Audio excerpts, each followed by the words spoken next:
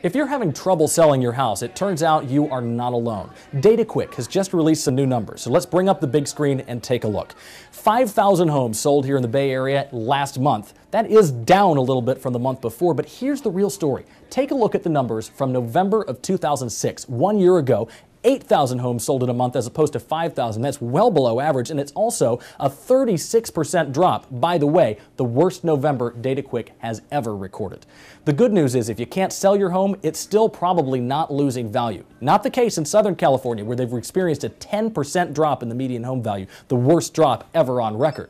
Here in the Bay Area, home values have actually inched up a little bit to a median value of $627,000.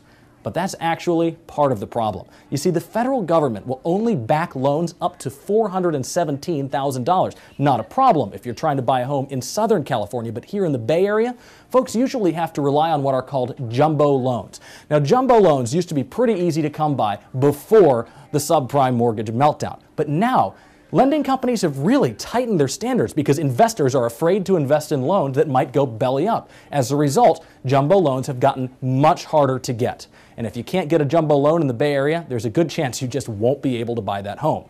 Now, this has had a snowball effect because if you can't afford your home, there's much less of a chance that you'll be able to get somebody to buy it and bail you out.